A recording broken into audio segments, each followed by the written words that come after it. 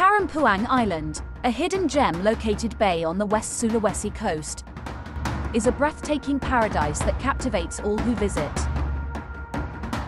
Renowned for its stunning natural beauty, the island offers an enchanting escape from the hustle and bustle of everyday life.